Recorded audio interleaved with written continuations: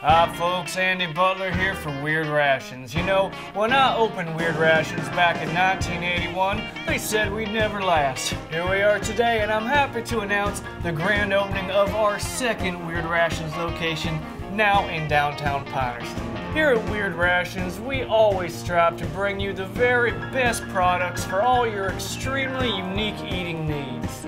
Are you buried in an Egyptian labyrinth? Weird Rations got y'all covered with them afterlife snacks you're gonna need while bebopping through them fields of the Yalu.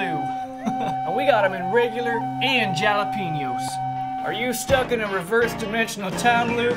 Weird Rations got y'all covered and with the right sorts of expiration dates for someone in your dilemma. What's that? The born on date is after the expiration date? That don't make no sense. it does to y'all. Are you hunting squatch and needing some nosh? Not to worry, we got them extra quiet crackers so the big guy won't know you're chowing down up on a tree stand. Are you Skeksis or half Skeksis? Do you require foods that work well with finger cutlery? Well, here at Weird Rations, we got a wide range of weird finger foods to help you tuck in. Now, here's my son, Andy Jr., to tell you more. Andy? Hi, friends. Andy Butler Jr. here for Weird Rations in downtown Pounderston. You know, when my pops asked me if I wanted to manage his new Weird Rations location, I muttered them three little words. What's the address?